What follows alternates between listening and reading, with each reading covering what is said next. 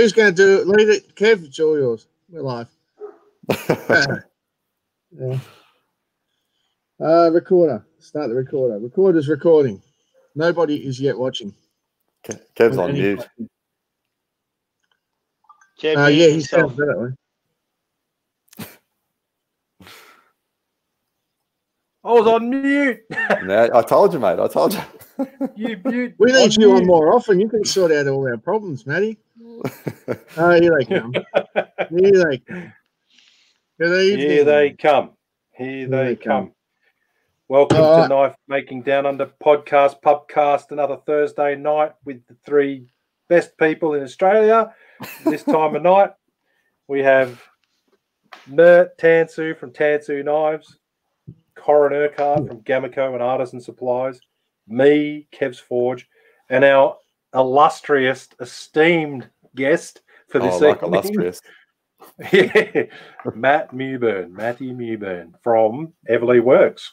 G'day, guys. Lovely to be on. We're happy that you lie. That is all good.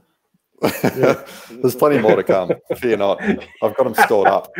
Oh yeah, we've spent a fair amount of time with you, mate. We know what's coming.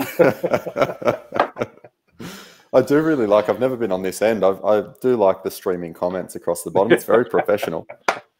Corin, you Blair. should pull Oh, out yeah. Tim Ford's comment and fire. Corin, Corin gets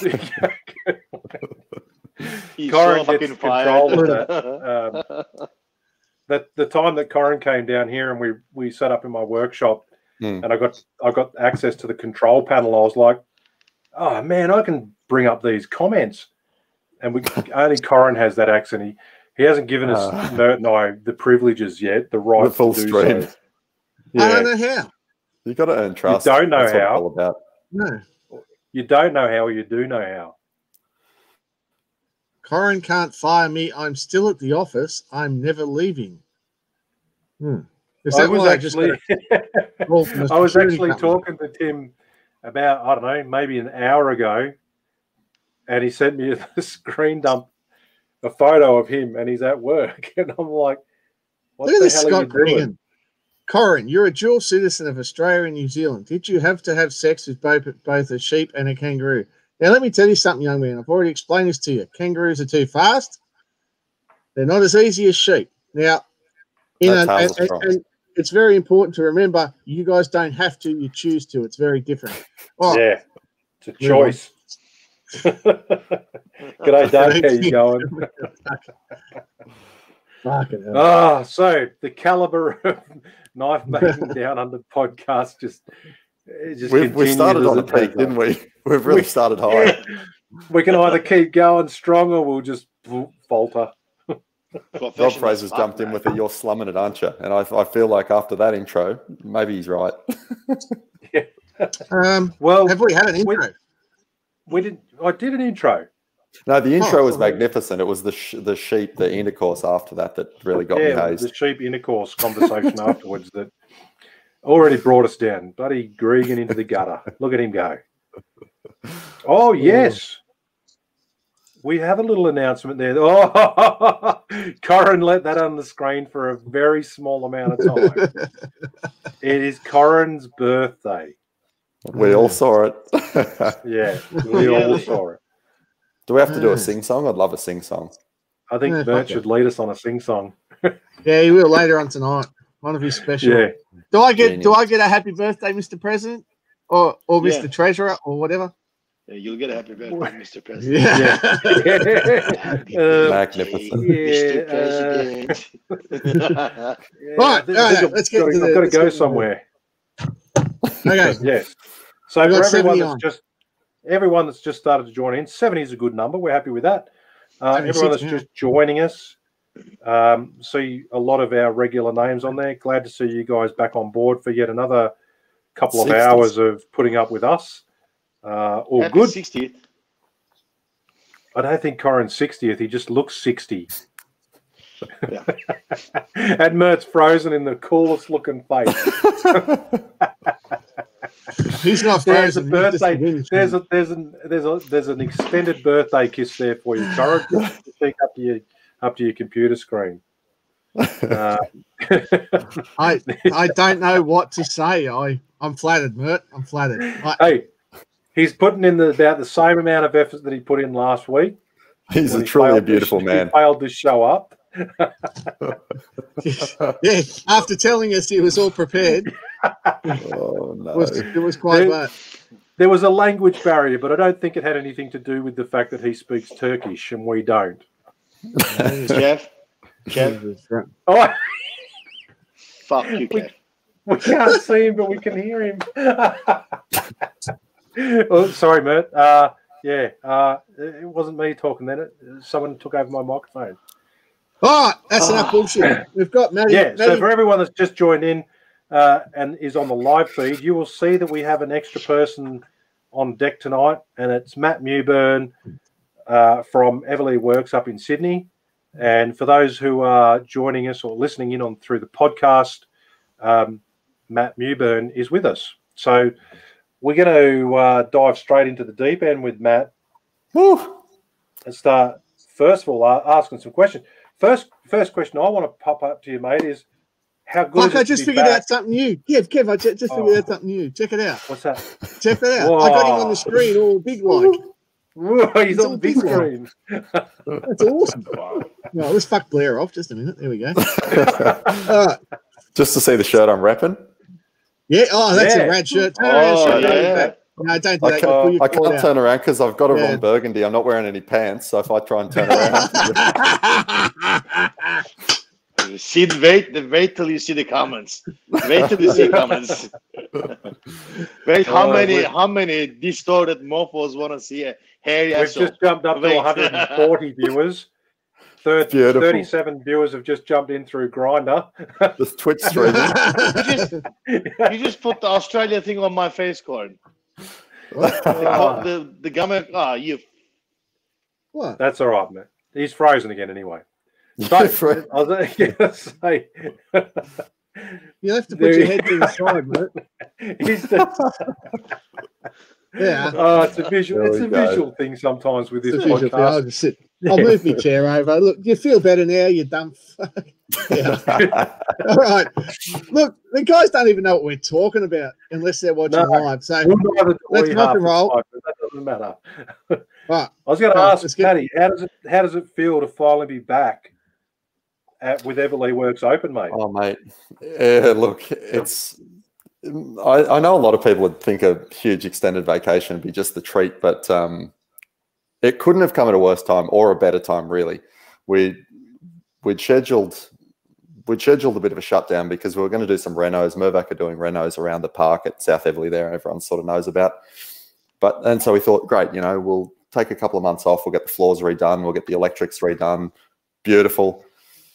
And then COVID came along, and so all of a sudden I had all of this free time that I've I'm not real used to having, and I didn't have anywhere to go. Couldn't do anything with it. Couldn't travel. Couldn't go.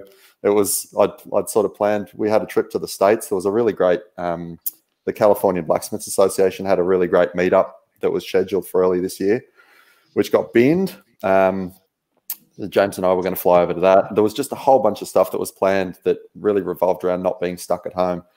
So it is not only a relief to be back at work, but it's actually it's a it's been very enjoyable. Um, I don't know if you guys get the same feeling, but I, there's there's this, an immense satisfaction being able to just set everything up the way you like, get all of your tools laid out, pick them apart, you know, get them up on the racks. We've spent a ton of time building shelving and racks and blah blah blah. So yeah, that stuff's been uh, like I've loved being back, mate. It's been awesome. Yeah, awesome. Because we'll let Corin talk about his little weekend escape to Eveleigh Works, but he was telling me about like even just a simple thing. Well, not a simple thing, a thing like getting your floors redone. That's a monumental task. Yeah, yeah. Like, So if, if the viewer, most of the viewers, I'm sure, or listeners, listeners and viewers, I'm sure most of them have either been to or seen Eveleigh Works. And the first thing, apart from the massive power hammers that came into my mind when Corin was like, "Oh, they've got new concreted floors at level," was like just your just the steel rack. Yeah, yeah. So it all got lifted. Literally everything got moved. There's 1,500 square meters of blacksmithing, all of the stock, all of the tools. Um, the only stuff that didn't come out was the really heavy plant. So the things like the upsetting machines, the power hammers that are sitting on a slab, you know, that stuff didn't have to move because they're already on isolated slabs. But every sundry item moved and everything that would move moved. We we probably shifted 20 tons on the steel rack alone.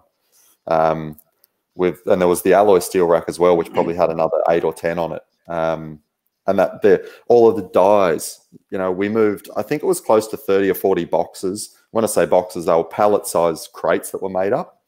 Um, yeah. they, they and some of those were three and four tons a piece, and they were all just all the dies for the Ajax machine and the Kovmak machine, which were lumped in there. Everything that could be lifted, myth the, the question on everyone's lips though is did, did you find the dies for the railway spikes, man? Oh, you'd be you'd be. I, could, I don't know if I need to perpetuate this. Uh, neither, I cannot confirm nor deny that I may have. Um, there, there may be some uh, 5160 railway spikes that I dug up somewhere, some bridge spikes, some rare corner bridge spikes. Yes, that's um, right. Bridge curve spikes. Yep, curve bridge, the illustrious bridge curve spike. Um, mate, I've got the. I'm not even going to talk about it. We'll talk for a moment. For a moment, though, when you were talking about stuff there, I thought you, I thought you'd got married through this COVID disappearance of Matty Mewburn because you mentioned the ups because you mentioned the upsetting machine, and I mean we've all got one of them. My wife doesn't listen to this, and if she does, I'm fucked. You're in all sorts. Yeah. Look, sometimes it's joyous to to run the upsetting machine for hours and hours on end. You know, so mm. once or twice a year. Yeah, birthdays and Christmas. Hers are yours. And yet, and yet, here I am recording here instead. Uh, anyway, it was it was a, it was mammoth. It was a mammoth move. It was, yeah, like the logistics. I never want to do it again. Like the logistics involved in that, it, it, boggles my mind. Like how, like I look at my workshop and I, have had a few weeks off, or you know, fuck, a few weeks, nearly two months off now with my dodgy back, and I've just been shifting stuff slowly and surely. And now my back's a bit better. I've been getting into moving stuff around, not doing anything stupid, but my fucking tiny little workshop causes me enough grief. And that's again when I think about just how massive a task that would have been for you guys. So let's let's just step back a bit though, because we're talking about massive tasks. We're talking about you know how big a job it was, but we got listeners from all over the world, and they haven't got a fucking clue who Matt is, right? And that would be a shame. Look him up, Matty Mewburn, good guy. But let's talk. Let's get into the into the actual what Eveleigh Works is. Like I'm sure some of our listeners might be aware, like our live guys, but the podcasters they're not going to have a clue. So, Maddie, tell us about Eveleigh Works. Tell us about we've advertised this on Facebook as being the best workshop in Australia. Yeah, well, at least the best accessible one for sure. I, I think. Um, so, what what Eveleigh was as a precinct was that was the the core of the New South Wales rail network essentially. So there was they were, it was built in 1887 or it was commissioned and finished in 1887. Um, they started building steam locos. They started assembling steam locos, and then they started actually building them themselves there. Um, and then when that fell out of fashion, they were building diesels on site. But basically, it's it's a it's, it's a giant train workshop, um, and it was a much larger precinct. So they had an on-site foundry. They had the Carriage Works, which has become quite famous as a precinct for art and culture. Um, that's all part of the Eveleigh compound there. But the, the shop that we're occupying at the moment is phase one and two was the original blacksmith shop. So some of the oldest parts of the, the whole precinct.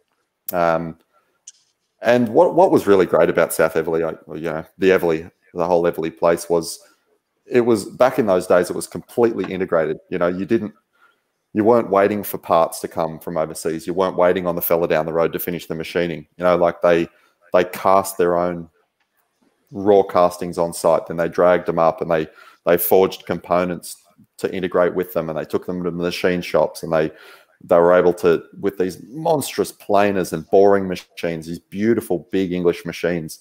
They were literally breaking down tons and tons worth of steel to to make these locos. So that was what it started out as. That that all came to a grinding halt in in the late eighties. Um, the railway workshop shut down and it sort of languished for a bit, and then it, it came into private hands. So you guys would all be familiar, but the guys that aren't, um, Guido and his wife partner Wendy, pardon me, uh, they took the place on and they were there for you know 20 25 years. And um, yeah so it's been in private hands for that that period of time. We grabbed it about five years ago. Um, and now it's it's it's sort of multifaceted. We started out just running blacksmithing classes because we thought well this place is incredible that you guys have been there but you you walk in and it's just got so much history. It's steeped in it. You know you you can smell it just smells like a workshop. It, it everything is in the original context that it was supposed to be in. And you know a lot of those tools there were made by the blacksmiths that worked there. And and some of them might be 100 years old. Um, so you're working there you're working in there and it was just it's it's too immense not to share. You know that feeling is is too much not to want to share with people. So the best way we thought to do that was to run classes. Um, so that that started off as I said that was about five years ago we started running the classes and um, they were really successful. You know, people really loved it, and we we've we've got got some really great guys on board that, are, that they just love what they're doing. They love sharing it. Um, and off the back of that, you know, I've I've been able to get back to the stuff that I love to do as well, which is actually making commissions, you know, doing the doing the jobs, not just teaching them. So yeah, the last couple of years we've gotten back into the making, doing as bigger jobs as we can take on, I guess. Um, I love the big stuff. I just love the challenge of uh, looking at something and going, shit, I'm not really sure how I'm going to figure this out. But uh, that process is kind of what I really, really drives me to come in. So, yeah, that's that's a little bit about what we're doing. And uh, you know, the blacksmith shop, like I was saying before, it's fairly well, except for the floors that just got replaced, but they were replacing a floor that wasn't original as well. Uh, just about everything's in the original context. You know, you walk in there and the machinery, it's it's all old English machinery. Some of it's old American machinery. Um, but it was installed through the through the railway days, and the shop was very mm. dynamic. even though the big hammers and stuff, and the big Davy press, big fifteen hundred ton Davy press, um, they're kind of the most famous members of the the big iron monoliths that occupy Bay One, the, the big heavy forging stuff.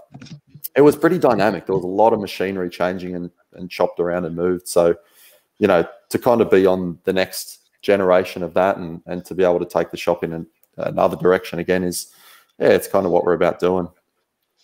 Hey Matt. Yeah. How did if, how did a young fella like you five years ago took over the one of the biggest blacksmithing shops in Australia and on New South Wales? How did that happen? How did I you get it, Matty? I wonder that all the time. Um, yeah. So it was actually, you know, what this came off the back of was a symposium down at Keith's place. Um, that's where I trace it back to because uh, so the fellow it's Guido, all Uncle, it's all Uncle Keith's fault. It's a, bloody yeah. Okay. Uh, of course it is. And then, as, as means for payback, we brought him in to teach knife making classes for a couple of years there, just to really, you know, put the thumb back down. Um, yeah. So we, I was at a, a symposium. I don't know. This might have been like 2014, I think it would have been 2014, 2015, down at Keith's place in Tamworth, Keith Flutter's place. And um, Bruce and I were making we were doing a, a, wrapped and welded axe in the evening. So we'd we'd finished the seminars for the day, and yeah, we were doing um, doing this wrapped and welded axe, and I didn't really know who he was, but Guido was there, who was the he was the current occupier at that time of the workshop, and had been there for, like I said, he'd been there for twenty odd years.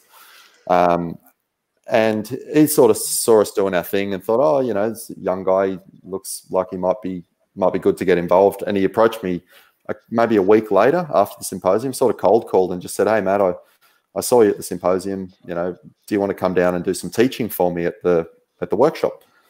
And I'd never visited the workshop. This is the really stupid thing. I'd been to the first knife show there that that was held. Not sorry, not the very very first knife show, but the the Eveleigh knife show back whenever it was, and even then, because I was manning a table, I didn't get into the blacksmith shop to check it out. going, oh shit, there's this amazing workshop next door, amazing, amazing, amazing. But by the time I went to Sticky Beak, it had been closed up and there was not much I could do about it. So yeah, I got this cold call from from Guido and he said, oh, look, you know, do you want to come in and do some teaching? So we did that. Um, and I spent maybe I don't know, it would have been three or four months, I guess, that we that I was hanging out with him and and taking classes here and there and just actually playing around. It was a it was actually a really fun time because I was running a much smaller blacksmith shop over in uh, Alexandria. So it was just around the corner. So he'd finish work at four o'clock or whatever, and he'd ring me up and go, "Hey mate, I've got the big furnaces on. I want to knock down this billet." And we were making these monster Damascus billets. Like I'm talking about 15 kilo billets. You know, they were bloody three or four hundred long, huge bastards. And Yeah. so we'd walk in there, and anyone that's been to the shop seen the big oil furnace running, but you know, it is it's very moody when you walk in there at five o'clock at night in the winter.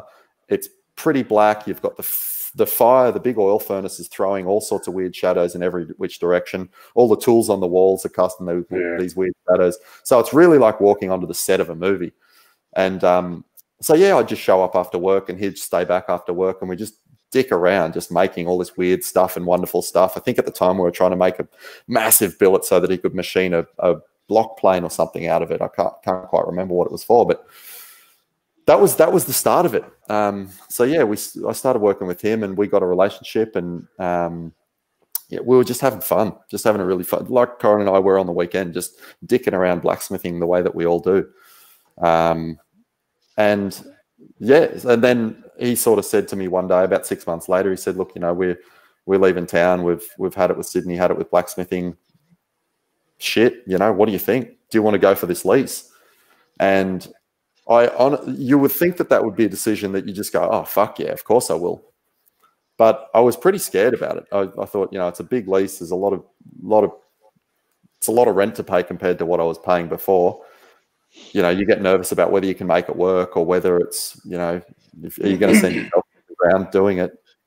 Um, and then I, I, so I just kind of went home and I went, you know what? I don't have all that much to lose, and you'll never get offered a place like that second time. You know, so just jumped on it.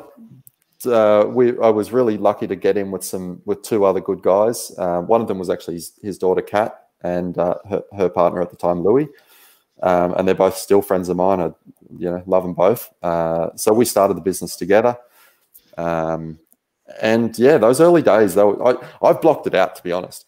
It was a lot like what we just went through when we first moved in. It just it had been set up for manufacturing and doing a lot of different stuff in in steel, not so much the blacksmithing focus that we wanted. So the first six months were just were setting up, you know, moving dies, rearranging everything, trying to organize it in a more ergonomic way, and yeah, so that was the first six months of being in there, and then after that, it's sort of the the, the, classes have taken off and been really successful, and bloody hell, it's a pleasure to go to work. Yeah, and as you were saying though, like when you say, "Oh, yeah, the first six months were moving dies and stuff around," the, the most people in a home workshop go, "Oh, yeah, moving a few dies around, no worries." If you've been to Eveleigh and you understand, like just the the dies running down one of those walls, There's a wall of like- dies. Yeah. the rack of Mm. dies, the rack of tongs, the, the the squaring dies that you guys are using when Corin was there, and we'll let him talk about that. The what do they weigh? Like 40, 50 kilos for the die itself. Uh, the the big So Ajax you spend six Yeah. months moving around shit tons of fucking weight. in yeah, it's not grabbing a rack of tongs and walking around the corner No, like that scope. I, it's hard for. I, well, it's I, I only know because I've been there a few times. But when the when people hear you going, "Oh, I spent six months moving dies around, they're like, "Well, you just keep going, fucking left and right, putting them up, picking them up, putting them down." Yeah. Uh, Yeah. Monumental task. Everything's on a fucking massive scale. so I didn't realize at the time though, when you're just stepping back in history there with that Eveleigh um, knife show that we had, the first of the city Yeah. knife shows there.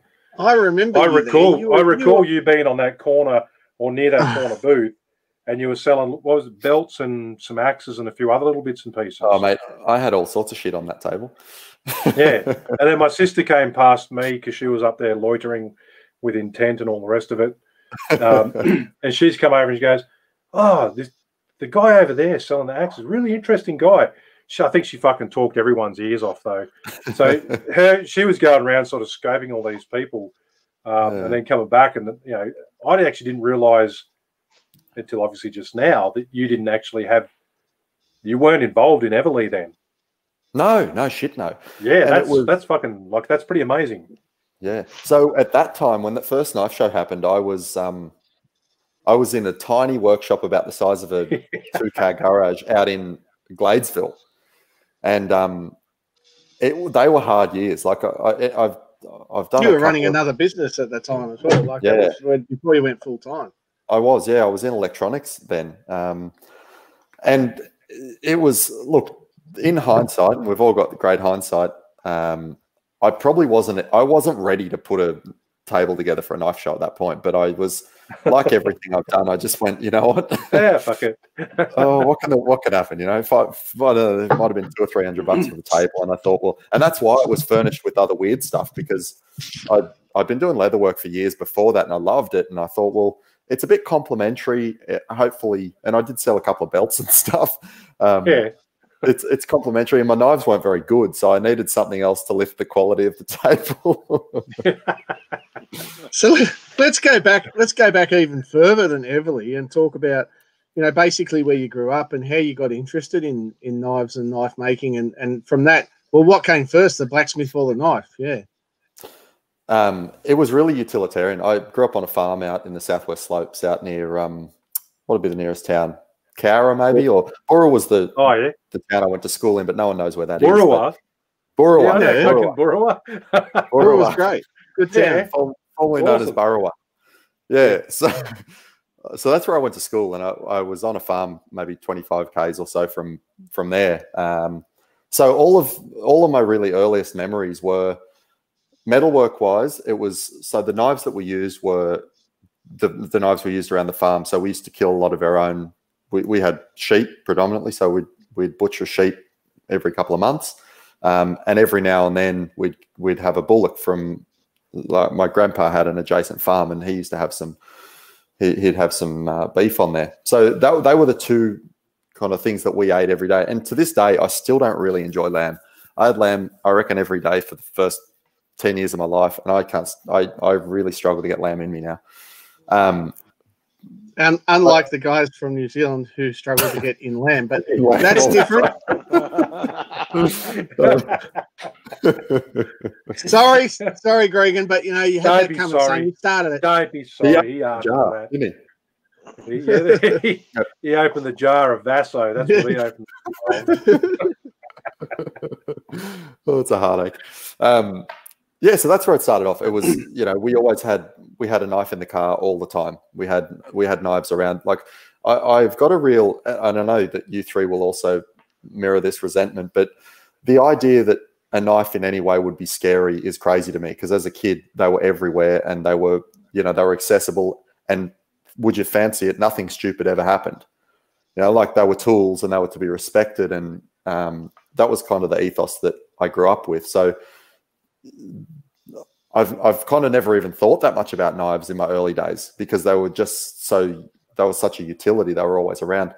Um, getting into metalwork again, I started pretty early. Like some some of my early earliest memories were building sheds and stuff like that on the property, and um, but actual blacksmithing probably didn't come until I was in high school. Maybe we did we did some blacksmithing in our D and T class, which I think most people my age didn't do. But um, yeah, that was that was really where I had my first taste, and I never would have considered it as a profession at that point. And I've I think even now I still wonder how I got here, but I reckon.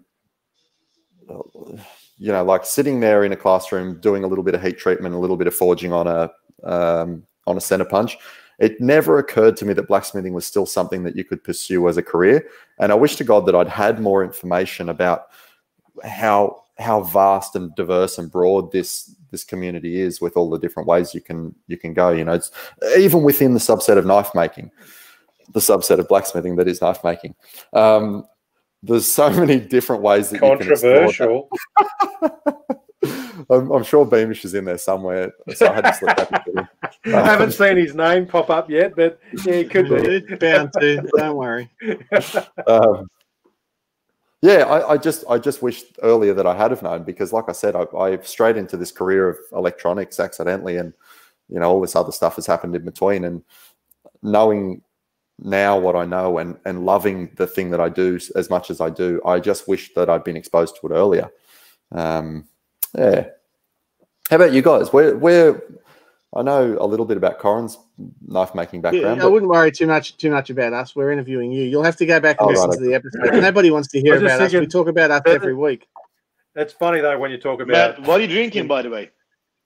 Highland. oh, this is a this is a Highland Highland Park. Park twelve year old. Yeah. twelve year old. I think this one was given to me by Pete Hill, another great touring blacksmith. Um, Yeah, yeah, nice. the twelve year old was bloody nice. I'm drinking paint stripper. Yeah. Pete Hill, Pete Hill, we took him bushwalking. I You lit a fire with rubbing sticks together.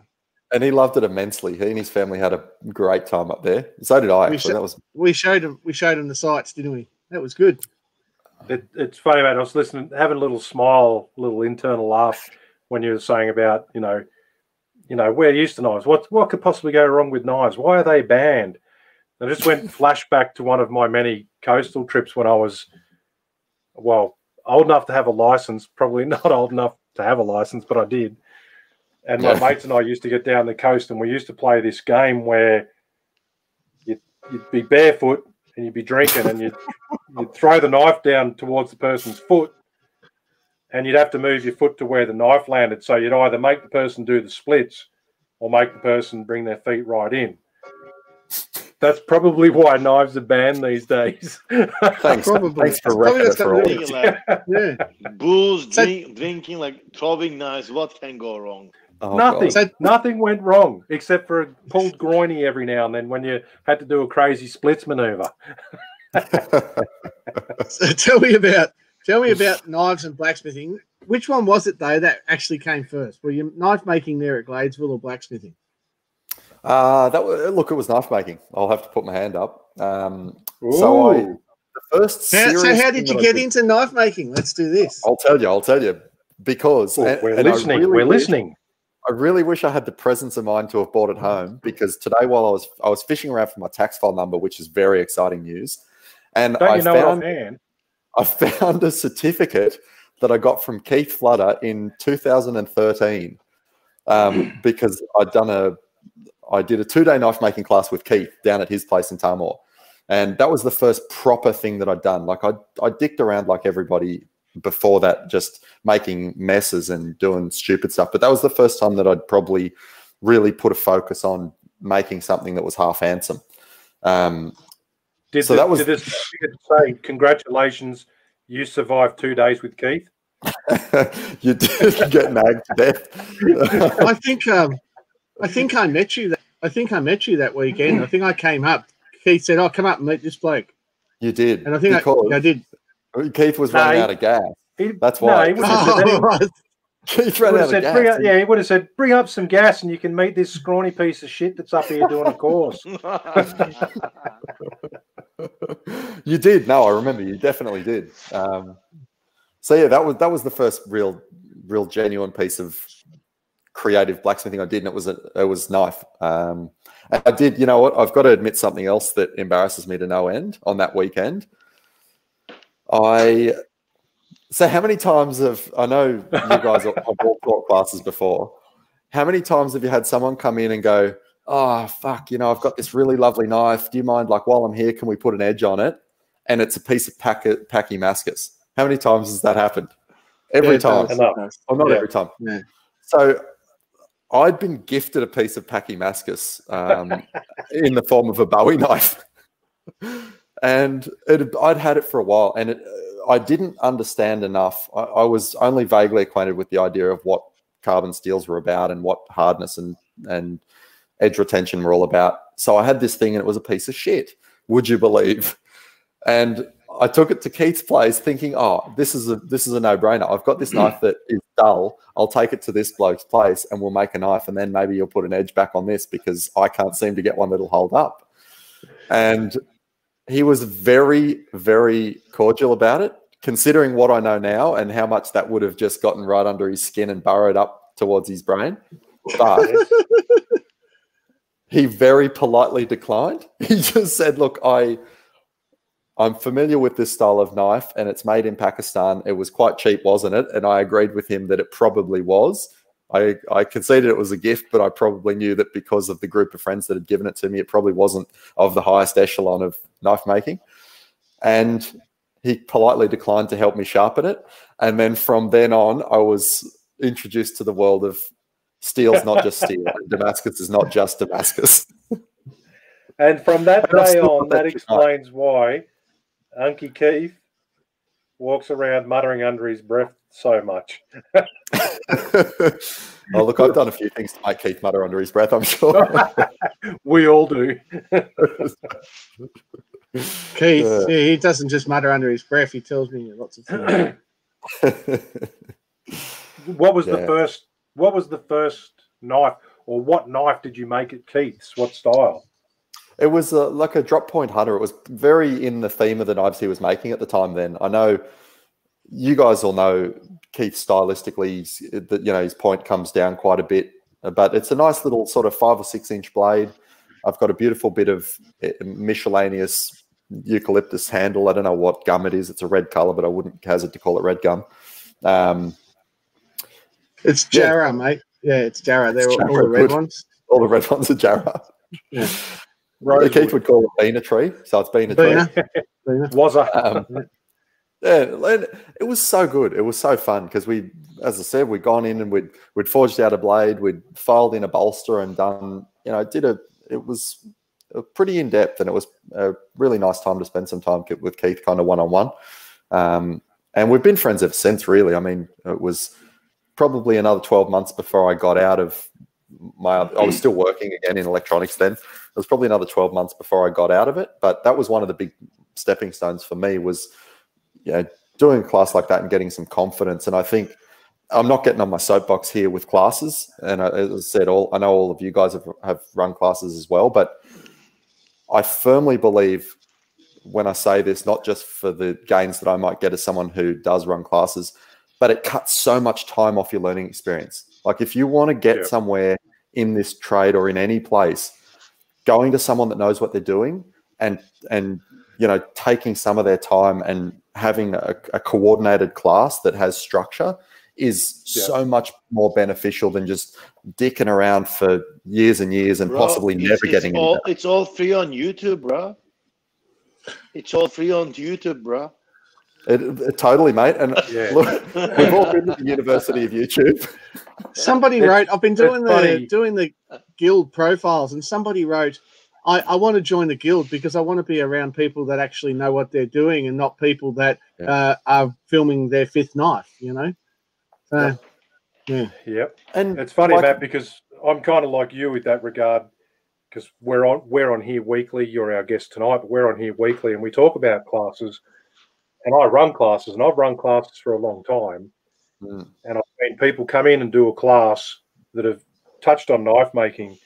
They come and do a class, and they, I teach what I know. I teach what I do. I don't shortcut it. And they walk No. away at the end of it with a new sort of view on it. But by fuck, I feel like a Kirby vacuum fucking salesman when I'm saying do a class. yeah But it's the other side is, and I'm sure everyone's probably seen this in in the comments that I post up on the various Facebook groups and whatnot as well. Is like when people say, you know, oh, I'm in, well, I want to do make knives or whatever, and people say do a class, and you see a, a list of people come up, but it's like first question I ask, where are you? yeah And they go, Oh, I'm in Sydney. And I go, Eveleigh Works. Where are you? "Oh, I'm in Brisbane. Go see Paul Aristan. Where are Mm. you? Near Canberra? Fuck, come see me. Yay.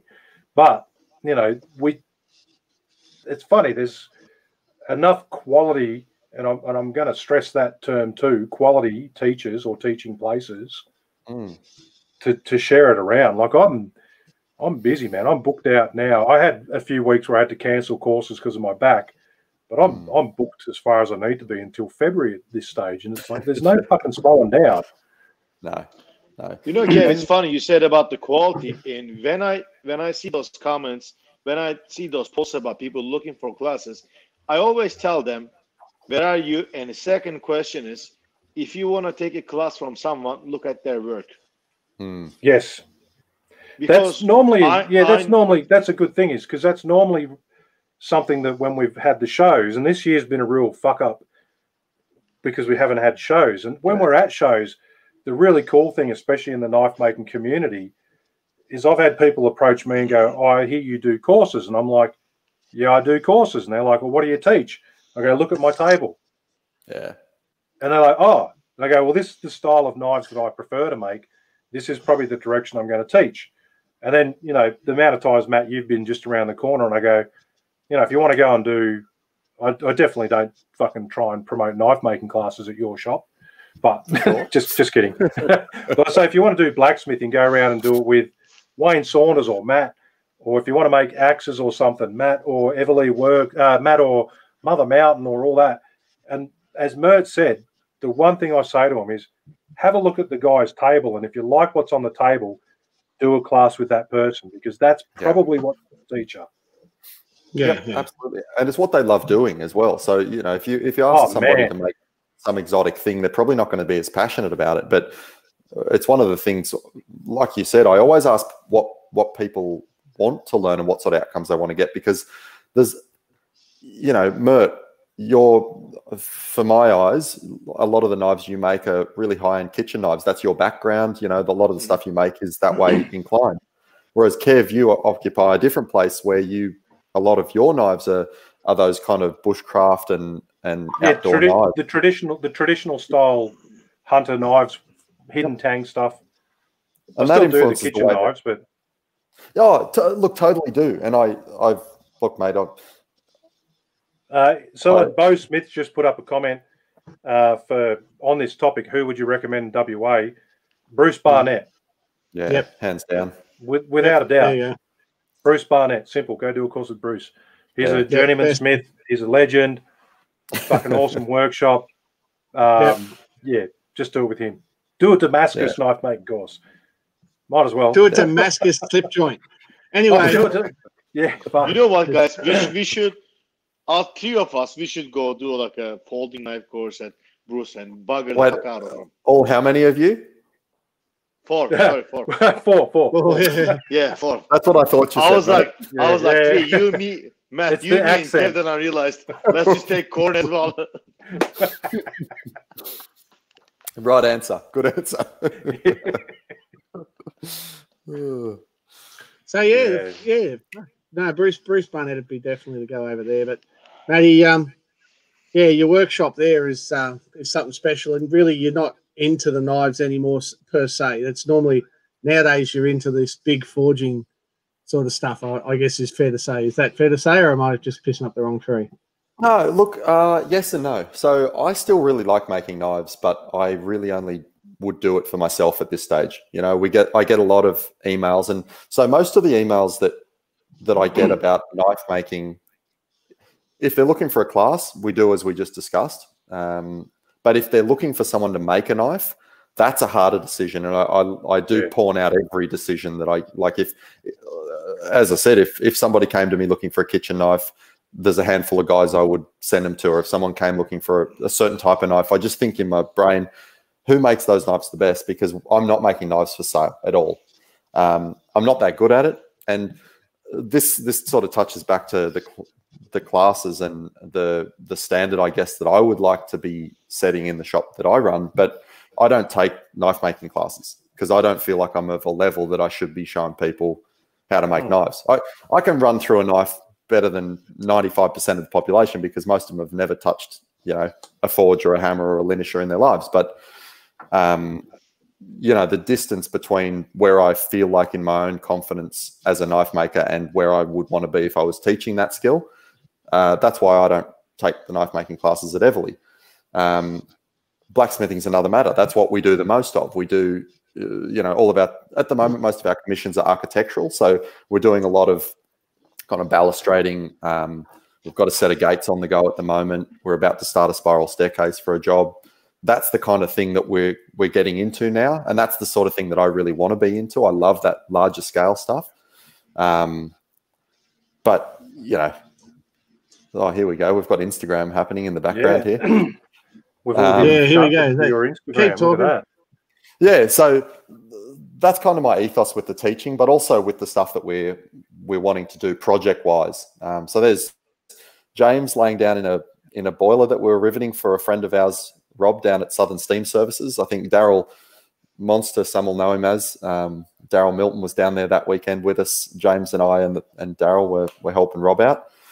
Piers is in the middle there. He's on a hiatus at the moment. He's gone over to um, he's moved into Alice Springs right before summer. The dope, but um, Yeah. he he's he's he's a great blacksmith and a great a really great teacher. Um, they they both are. Um, but yeah, that what you see, Piers is sort of on the big hammer at the moment. There, I think he's pulling out some crowbars. We do a lot of industrial forging as well. So a lot of these pieces were, were jobs that we'd built up over that break period. We're I trying to didn't. Re- I'd forgotten how shit that floor was around the seven.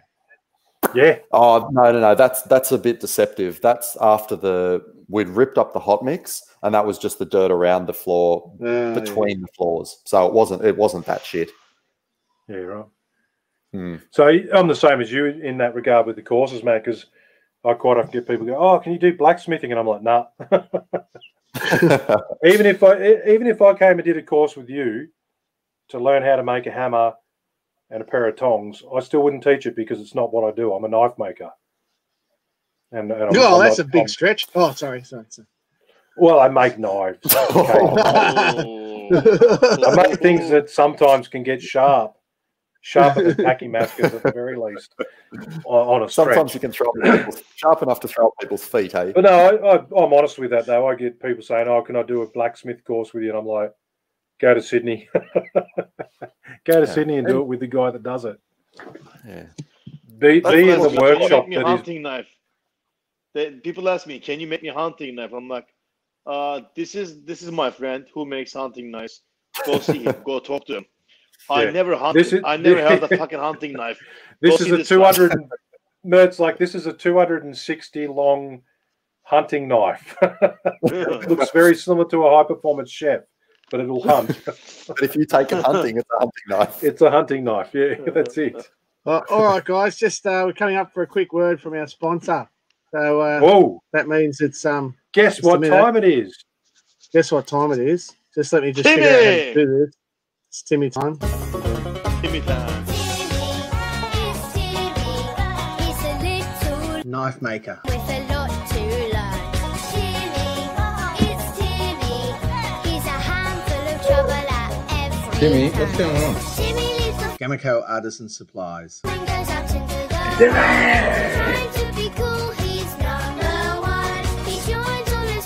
Knife making down under podcast. and he's always having such a lot of fun. Timmy, it's Timmy.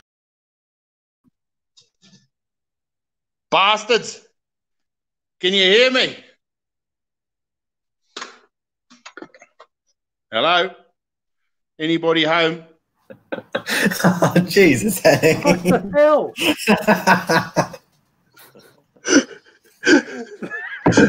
Let's stick in. What the fuck? what the fuck was that? How did you hell do did you that? get And then all of a sudden, It's Timmy time, not Henning time. Henny. Timmy, not Henny. Oh, sorry, mate. I can do anything, mate. I just hijacked your whole feed. Let me get the sun behind. There we go. That's ridiculous, Henning. Matt, you skinny bastard. Lucky you're good looking, Henning. Oh, good day, everybody. What you laughing about, Kevin, you bastard? Ah, nothing, And who's that guy in the corner? Oh, that's the real Timmy. That guy. Henning, Where's That's Timmy. bastard. That's it. There's too many people. It's too hard. You Well, guys hear me you okay?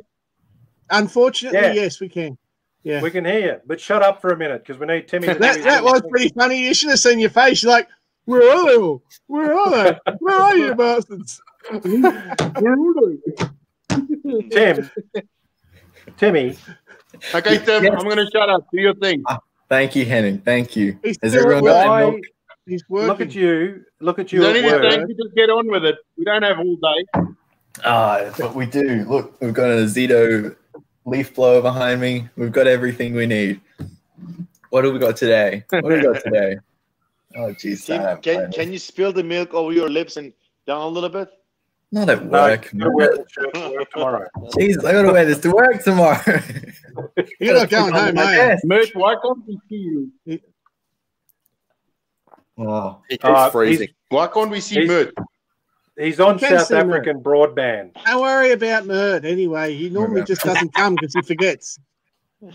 what do we have? What do we have? What- Jeez, We have a Well, Tim- week's wait. We have a week's wait on shipping. So don't ring us up and say, Where's your order? Because there's fucking like three trays of orders that have to go before yours. Sorry, but it's just the way it is at the moment. Well- sheets of paper, guys. Sheets of paper. From from my perspective, I I took a trip up to Sydney to pick up some steel on Monday this week, or Tuesday or Wednesday, whichever day it was. Thanks for dropping in, dickhead. Oh well, you're too far out. that's You're that's because you mate. didn't bomb the hammer in your fuckhead. But um, no, these these the Gamaco guys are like honestly, they're fucking bullshit crazy. I looked at their pick and pack um, racks and I was just blown away. There was what what was there, Timmy? Three ton of G10. Yeah, we just got in three ton of G10. No, we just got in one shipment of three ton just after we got a shipment of one and a half ton. Yeah, so we got So four and a half ton. Plenty, of, fucking plenty of G10. G10 available. Oh, fucking G10. Did you do oh, anything with them scaled? We got G10 Damascus. Oh, it's like, I haven't I haven't rad. done it yet because it was only two days ago. yeah, but that, that's true too. But you're just slow, slacker. Oh, I am. Wait up, Jimmy's run off. Jimmy's run off. He yeah, wants to show us this. I'm back, bitches. Okay. Look at this shit. Look at this Can you shit. can't even see it. Wet Nah. it. Spit on it. Put some milk on Lick it. it, lick it. Spray some milk on it. Oh, beautiful. Lick Look at that. Now it go. Look at uh, the The G10 rubber Damascus. lotion on its skin. Oh, look. Lotion on its skin. Oh, He's got skin milk. like that. Get it closer, Timmy. Get it. I'll put you on. I'll put you on big screen. Wait up. Surely I can. Oh, do wow. Yeah, let's just get Timmy on his own. Just No, wait. I'll get Timmy on big screen. Fail. There we go. Yeah, yeah. Oh, oh wow. Oh, look at that! Wicked. Milk and everything. G10 Damascus. Hold on. There's more. There's more. Just get some more milk. it's just guys. like heading steel, but slightly better. Yeah, well, yeah, exactly. I mean, obviously. it's had. Oh, no. It's got less floor. It's got It's less. It's easier to get it better if it's steel. G10, mate. You don't The have to weight beat is that up. Yeah. There we go. Oh, put That's pretty lotion nice. on the That's, skin. oh that's yeah. the nice one. That's hot. That's hot. Yeah, that's Black hot. and white. It's not on the website yet, but uh, I took photos of it this morning. You've been there all afternoon up to nine o'clock at night. And you haven't got it on the website. What the fuck are you doing there? It's not booked in yet. None of that G10's actually booked in yet because MGL hasn't given us a freight quote, so we can't actually price it. But that's besides the point. So there's all sorts of things going on. Anyway, so anyway, there's heaps of G10. You just can't buy it. Anyway, sucks to be used. That's All right. right. Like Smaug sitting on your mountain of G10. Yeah, that's you can't have it. It's ours. Oh dear. All right. What else is news, Timmy? Fuck, I missed it. of it. What else is new?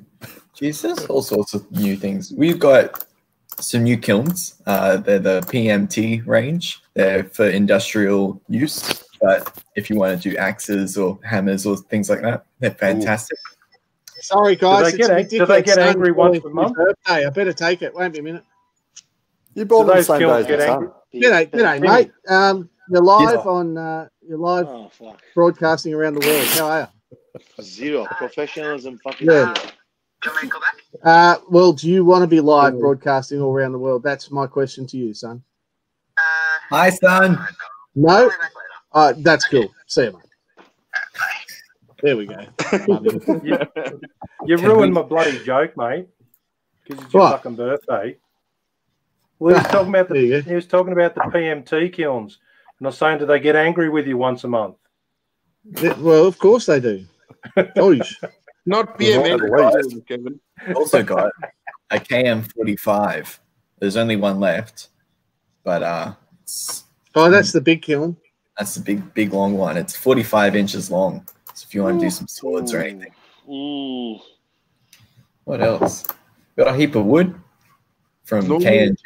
Almost as long as Mert's attention span. Hey, Tim, who's this fucker? You can't even click the link up the top. Gleno. He wants his grinder.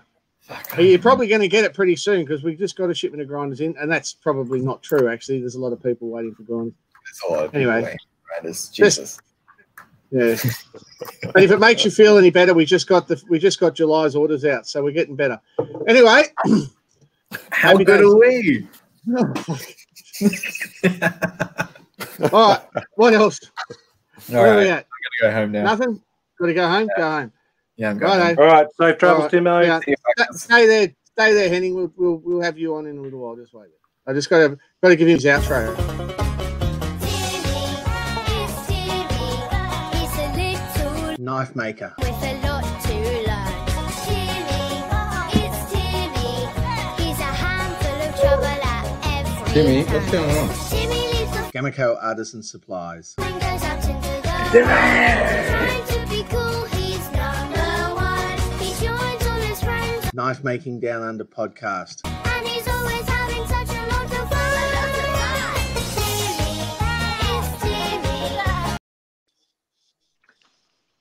Timmy, it's That. Thanks. Fuck, that was Damn. That bearded bastard's still here.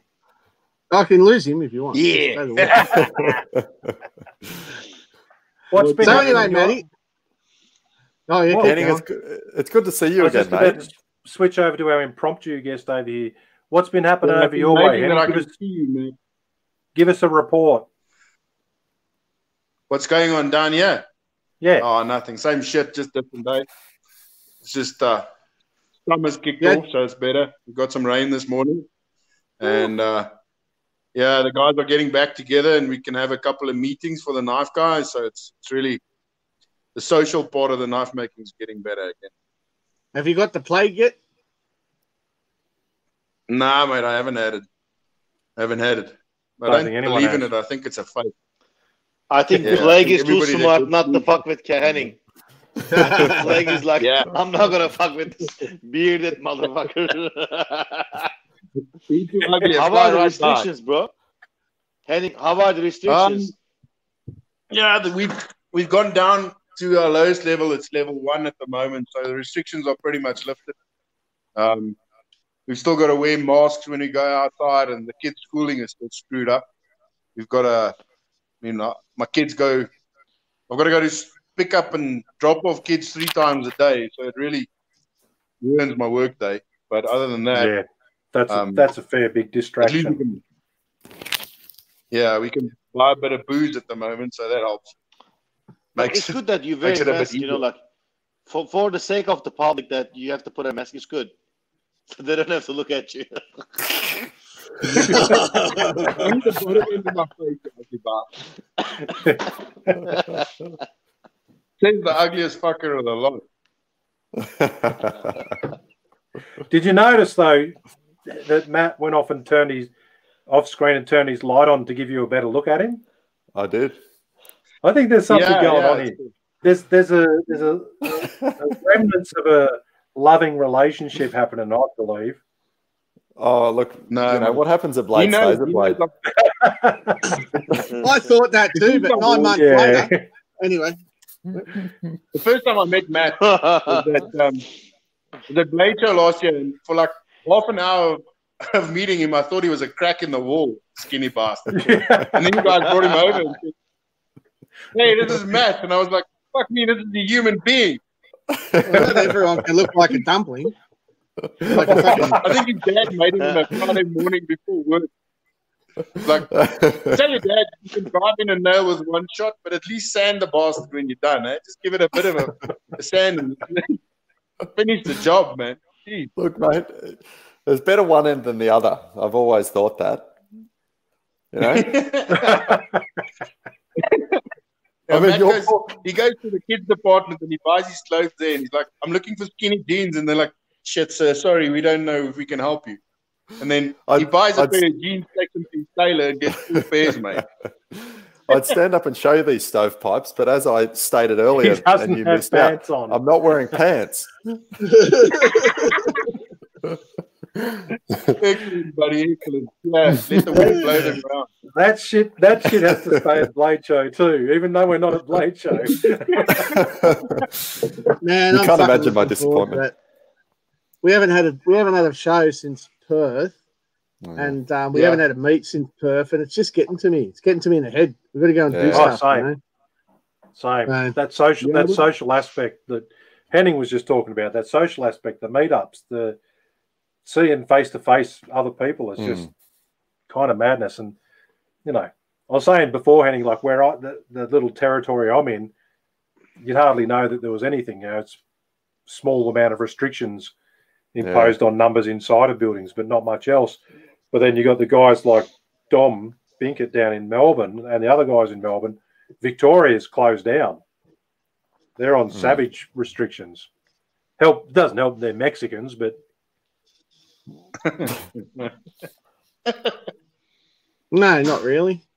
no. Not but really. it's Have- for Australia, it's very bizarre to have border closures. So it's Mm. Well, the last time Yeah, it happened was the Spanish flu. down here have done is that we sort of organize like impromptu get-togethers. Guys would just say, "Hey, if you're around, come to my shop on Saturday. We're going to be hammering some steel and grinding and just talking some shit."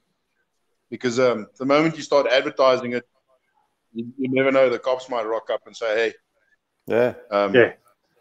what are you guys doing?" So a lot of the stuff was just done impromptu. But we've got our first show now in the first week of December. Um, we've got the Brooklyn show, and it's it's going to be good just to see everybody. yeah, half your life. Yeah, that's bloody grouse. I think it's one of those things too with you know knife making and blacksmithing. They're they can be quite solitary activities a lot of the time. So you you know you particularly with knife making, you spend a lot of time at the grinder. You kind of got your hearing protection on, and you're zoned into a podcast or you're doing whatever you're doing. But it's I think a lot of the guys that are into that kind of thing, they really do miss the shows because that might be their their outlet. Other ti otherwise, the rest of the time they're sort of pretty solitary in their own sheds by themselves, and it's um yeah, I think that's what's affecting a lot of people at the moment in our community. Yeah, and just- and given the number of before we shows that we have, given the number of shows that we had planned in Australia, that's something that we're uh, someone like myself that's full time, always working for that between classes. It's making noise for Yeah. the next show. Yeah, So that's your focus. Beauty, next show. Just got to get to the next show. And Mert, Mert and I know about you never slow down. You know, you've got enough stock that you keep pushing until the day before the show or the night before the show. Mm, And there's that drive. And then the release for that is you get to go and have some drinks with your mates. yeah, Um, you know, see a whole lot of people that are interested in knives, maybe make a little bit of money out of the whole thing if you're lucky. But the whole big thing for me with shows has always been, you know, my goal of the show is make my money back, catch up with all my mates. That's Yeah. the key. Yeah, That's the best thing Yeah, you can well, hope for. social social gathering Yeah. that you can make extra money for it and you get to see your friends that's that's what i'm really missing like the last time in perth i was kind of down because i was thinking oh i only sold this much i wish i did more but man i wish i cherished the time and i wish like we were i, I wish i could appreciate the time that we were having because it was fucking great time we were Mm. having dinners and we were I was- bullshitting and Drunk a lot. We all were. I'm, I'm. I'm glad? I'm glad you remembered that. I'm glad you remembered that. we went to that whiskey. We went to that whiskey bar. But Corin, remember though, best thing about the Perth show is the show was held at the hotel that we were staying at. So it had like a sm- almost like a small blade feeling. Like you were staying, Yeah. you were in the city. It was Yeah. awesome. Yeah, yeah. Well, I've I've been Yeah. down as you know, and I put it on Facebook. It was pretty funny actually. Um, I was I was pretty uh pretty down last week. It just you know a few things were getting to me. Matty Mewburn come through and he said, "Mate, you look fucked. Come down to my workshop on the weekend. Let's rock and roll. Do some blacksmithing and get back into it." So I came down, and you know I wasn't really in the mood, but I went down there and I got into it, and I had a fucking great day. And then the other day, like uh, I just thought I'd better say thanks, you know. So I put a post up about how I was down a bit, and then went to Matt's shop, and I felt heaps better after it. And just thanks to all the boys that were there. Just that was I. I didn't think I was um. I didn't think I was really having a whinge or anything, um, but then I got this uh, this comment. Uh, actually, it was a, a really um, interesting post for a whole bunch of reasons because it kind of went viral on the group. But I just like this response, and I'm just going to do a shout out here to David Knee, who says, Oh yeah, Oh, for fuck's sake, It's starting to sound like a woman's club. I'm gonna woman's club in here. Suck it up. Life sucks. You don't have it bad. There are babbled with cancer dying every day. There are kids sold to drug dealers as prostitutes at the age of eight and hang themselves at 12. So shut the fuck up and mm-hmm. stop crying like a bitch. Fucking weak ass men nowadays. Stop trying to get sympathy on Facebook. And you make me sick. And if this is how it's getting on here and you don't like me, what I say, then kick then then kick me off. But just quit your crying, you spoiled little bitch. That's David Knee. oh mate. So I I did kick him off, but and he's I a found serial that- he's a serial pest. And I screenshotted that too because as soon as I saw it, I went, "This fella's he is crying out for help." That to me, when I read that message, I'm like, "This bloke hasn't been fucking hugged hug. as a kid. He wasn't Yeah, hugged as a fuck yeah. kid. I'm hearing you, Matty. He's been he was belted and wedgied by his family his whole life. What came Belted and What- wedged. David Knee, that's for you, son. So Fuck. so what got me was that it was one of those things where you post it up thinking it, it's not a big thing, but I'll just put it at the end that if anybody's feeling a bit bad, they want to reach out. I'm there, and and the whole community's there because that's what the community's like. And I thought it was a pretty reasonable sort of a post, but there was so many positive comments. And what got me was the amount of people who inboxed me, um, telling me their stories. And you know, mate, there's a lot of people out there with with issues, and it's not it- it- you know, when I looked it up with Timmy, and I wish Tim was still here, Timmy and I got on and, and had a look because we are talking about what, what could actually be done to sort of improve things. And this fucking, um, we, we figured out that suicide is actually the biggest preventable killer of, I don't think we figured it out. We just looked at a graph.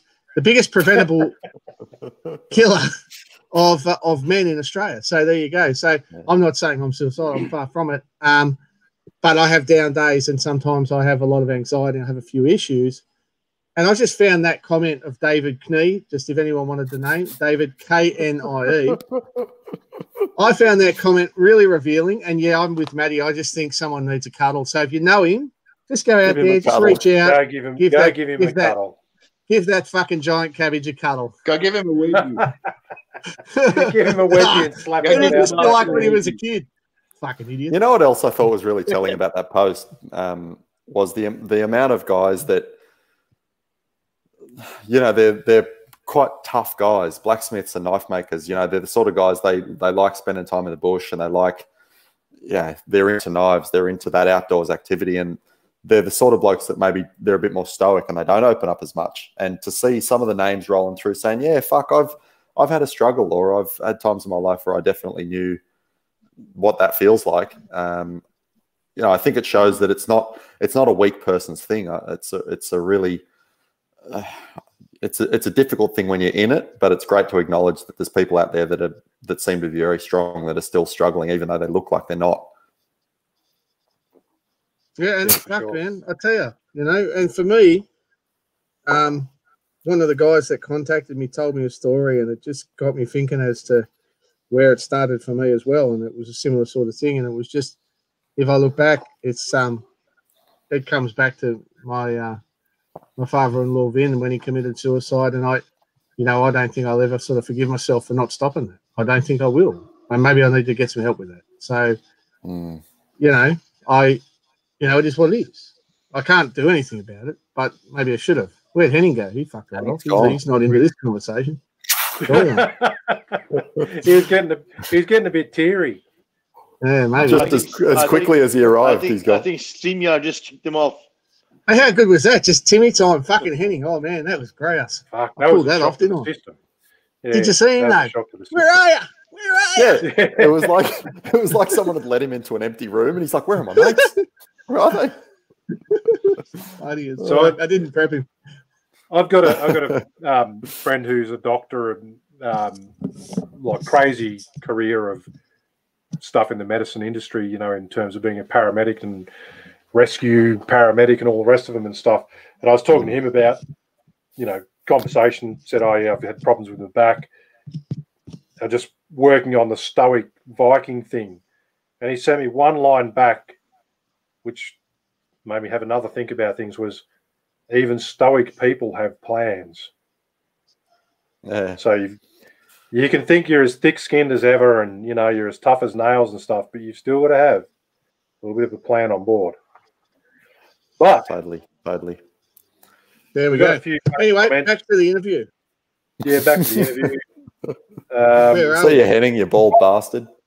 so, which, He- I, I don't know where he went. I didn't kick I'm him off. pretty Just sure Henning- record, Henning, if you're listening, you fucked off yourself. It had nothing to do with me. yeah, nothing. We didn't boot you, buddy. Um, we actually I like. We actually like. This is something Henning probably doesn't hear very often, but we like you, Henning. We only Hey, tell him that when he's not here. He'll pop in like For that the at any record, time. it's it's Yeah. Kevin's personal thoughts. It doesn't represent the values. Yeah. of the Those thing of the Thoughts knife expressed down of mine and not those of other people on knife making down under podcast. The caveat here, blah blah blah. Um, now we we've got a little drinking game going that some of the listeners created. We haven't Oh, really good. pushed it too much at the moment, and it generally is to do with us mentioning things like Blade Show. Mm, So someone out Mm. there is having a drink right now. But mm. what what was your highlight of that being there? Like for anyone that's Oh. looking to go. So What was the highlights that you're allowed to talk about because of I, I was going to say what happens to Blade Show stays at Blade Show? there is a very I know what the highlights were. so Blade Show, um, It was sharing a wasn't- room with me, wasn't it? not just you, Hmm. by the way. Thank you very much, Corin. I I would my first bit of advice to anyone that wants to go to Blade Show is don't book a table on your first Blade Show. That's No. that's advice that I got Oh, given, yeah, and it was solid advice. Um, because I wasn't sober for the whole Blade Show weekend, and being able to sleep in the next day, on top of the jet lag and the hangover, made a huge, huge difference. Um, I think you're not ever going to be prepared for the magnitude of Blade Show, like to get around everything. Keith told me this when he when he was going over there four, three or four years ago. He's like, mate, you you'll you won't see every table. You'll go every Sure. day that you can go, and you won't see every table. Um, Mainly because you get there after lunch and fucking the hangover's still. Sorry, I'm not talking about me personally. I'm talking about everybody. Um, the exhibition hall, it's huge. It's Two giant. Yeah, well, the other one's littler, but the big one, it's huge. the, Um, bit, the, the little one's the size of Sydney Knife Show. but and you're right. the like- main the main one I think the main one was like 10 full-size basketball courts or something oh, fit yes, into that totally. space. Like it was fucking monstrous. Or maybe even more than that. It was it's it's ridiculous. It's- I will say it's a eight eight football fields, man, not not a ten best. Yeah, so if, yeah, probably At football fields eight more so. football Yeah. fields. Fucking Yeah. oath. It's monstrous.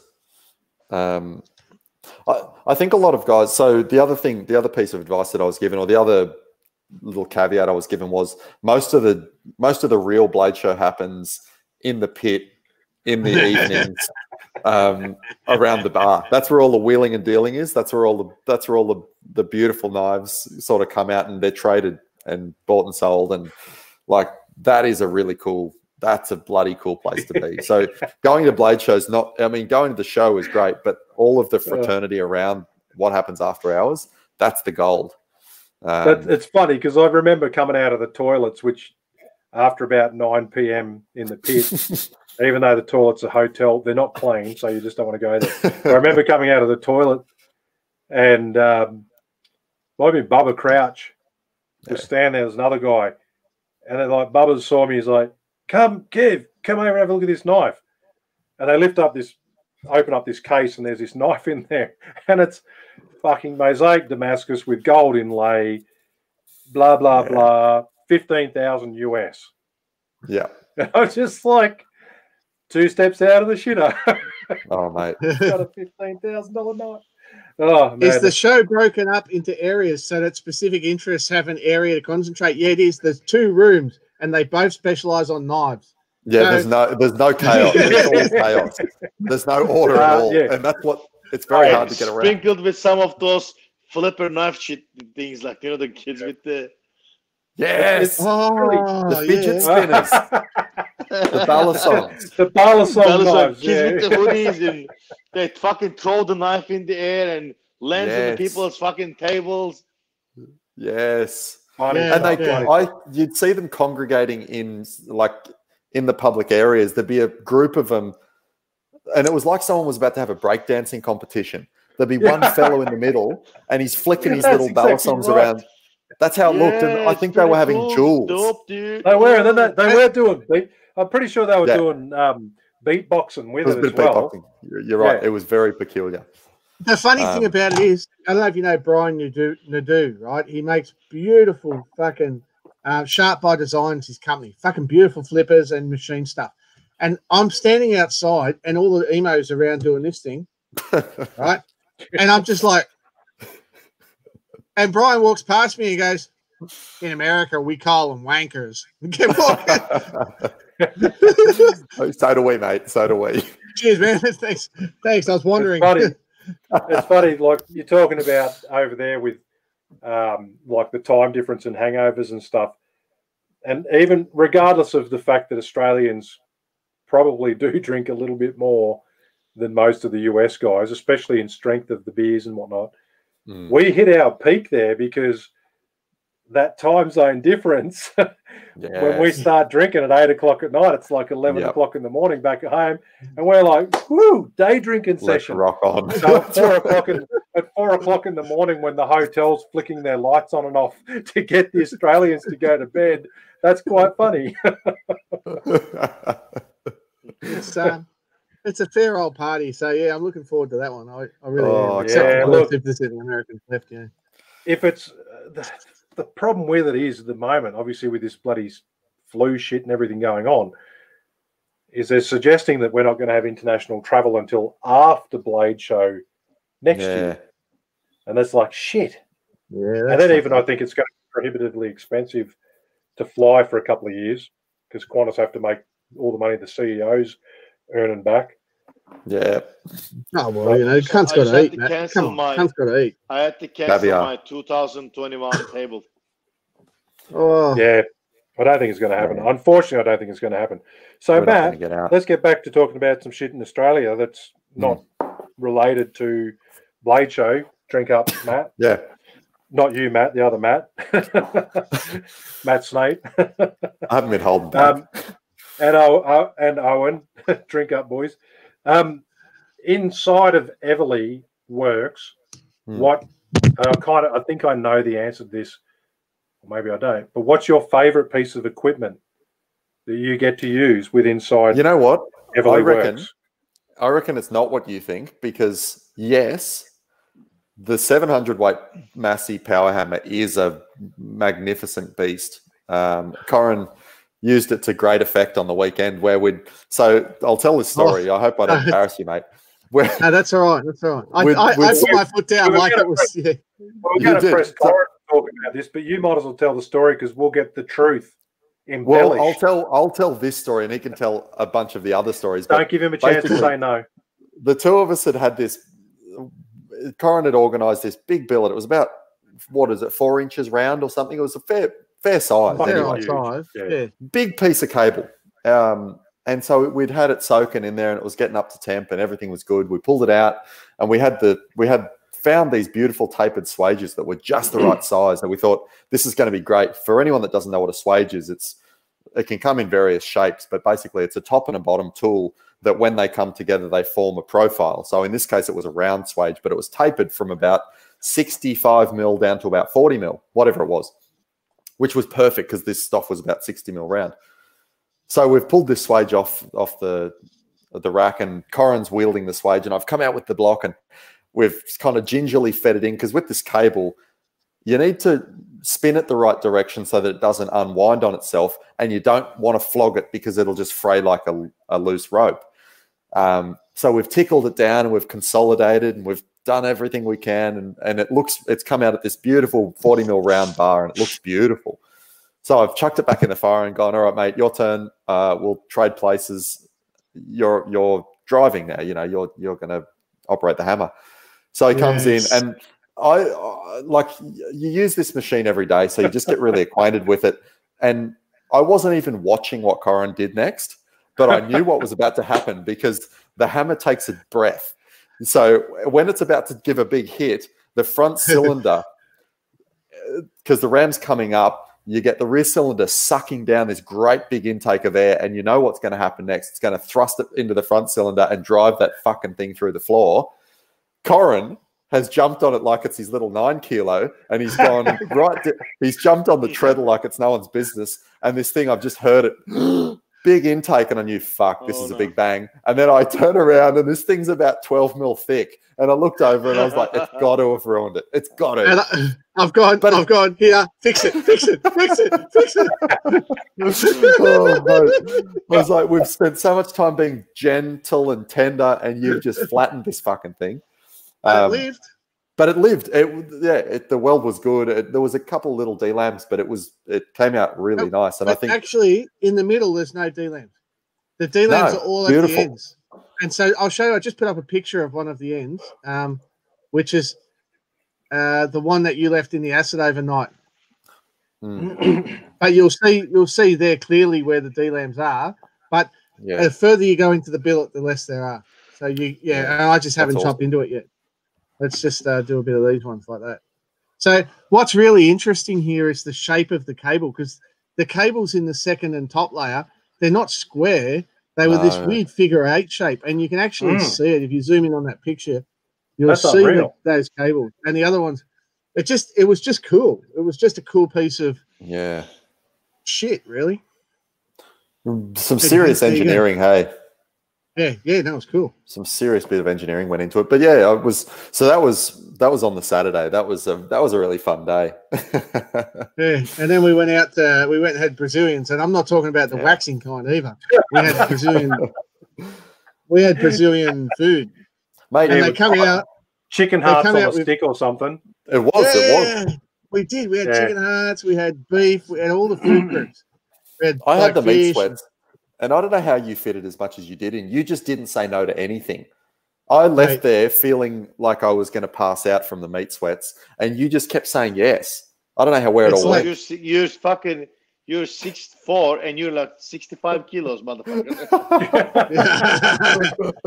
I just That's keep, what he- I gotta, That's when he's wet and wearing pants. oh fucking hell! That's what they do. At, that's what they Henning. do. Is at, again at Blade Show, the Texans take us out for steaks, and they buy Yeah. these steaks that barely fit on the plate, and then you've got to eat the whole thing. And I, I think I thought, oh, this would be rude if I don't eat the whole thing because you know it costs like a lot of money. yeah, And I've just like chowed in, eating it all, and he's just like, oh, this is too much food. I can't eat it. He's left half it on the plate, and you're like, uh, didn't know that was an option.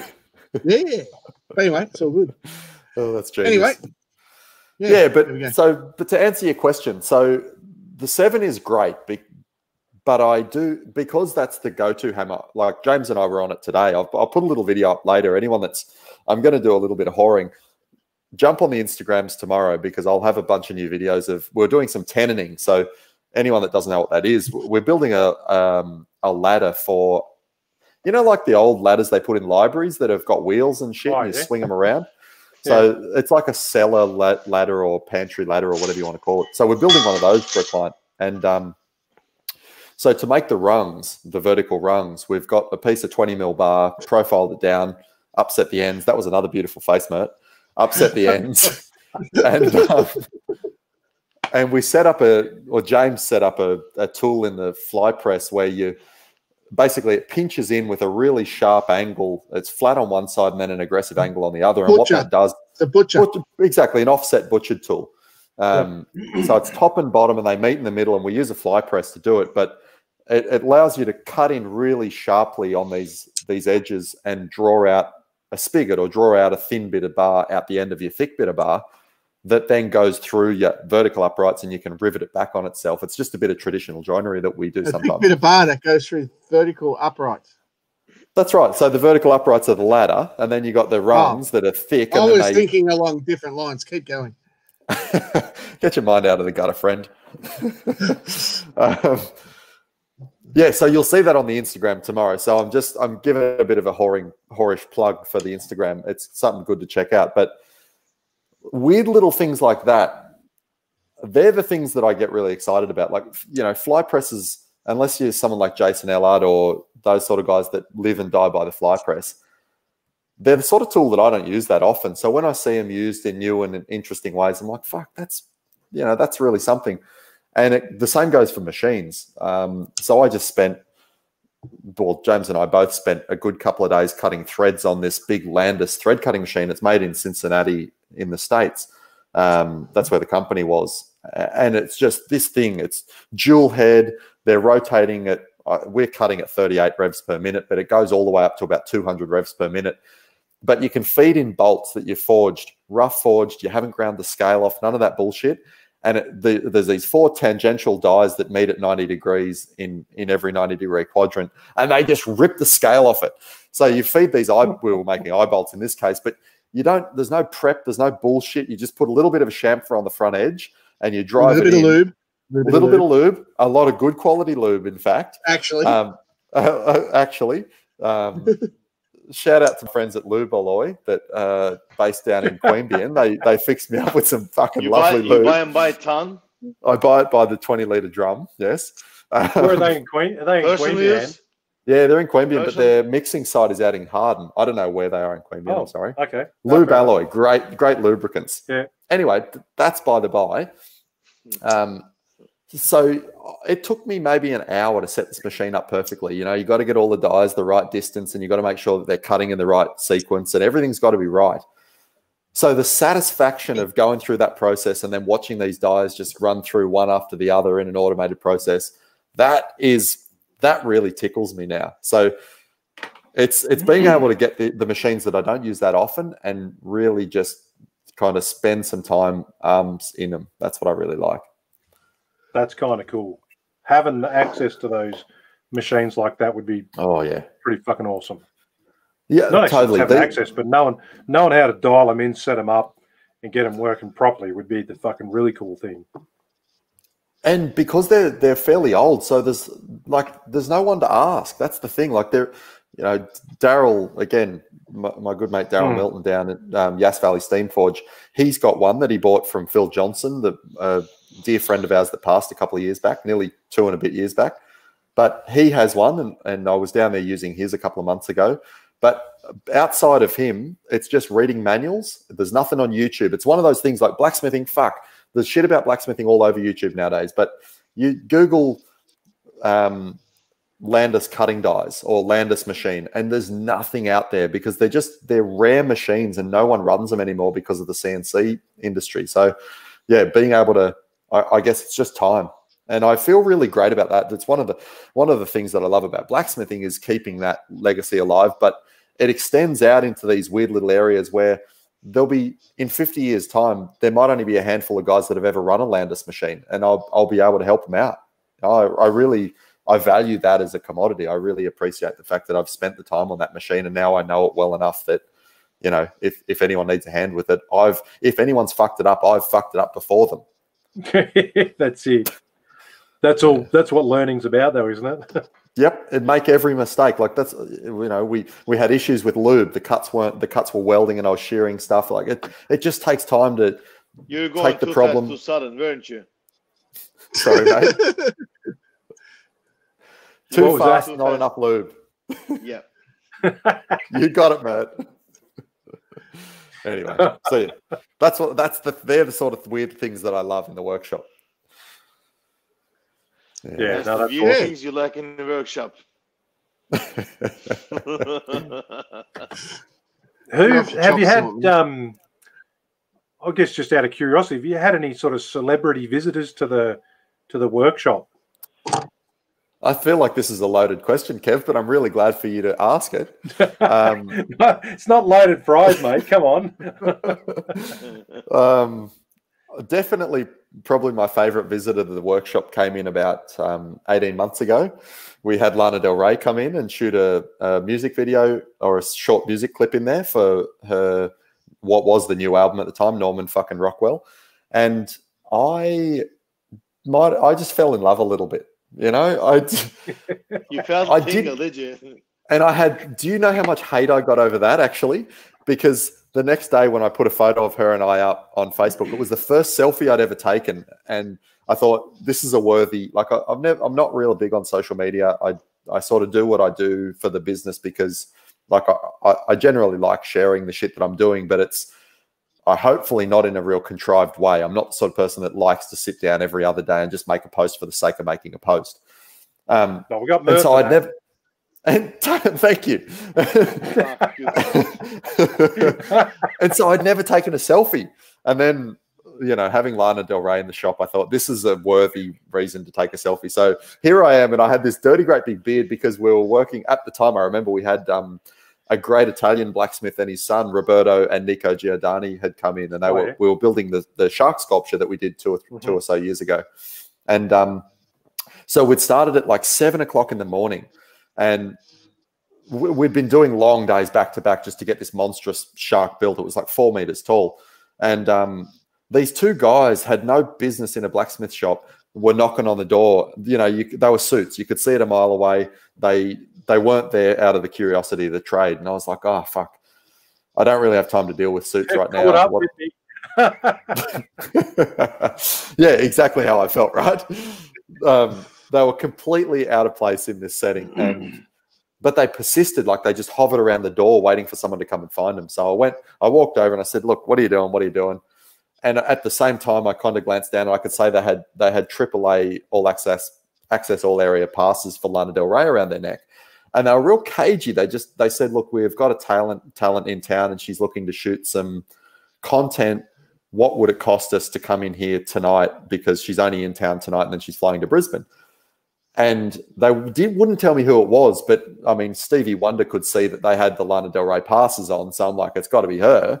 Um, so we we bartered on a price, and as I said, I'd started at seven that morning, so I really didn't want to stay back that late, and she didn't end up getting there till 11 p.m.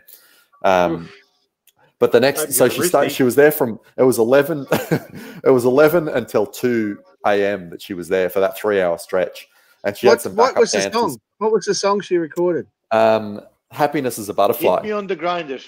Happiness is a butterfly. One of my favorite songs off that album, mind you. Fucking hell.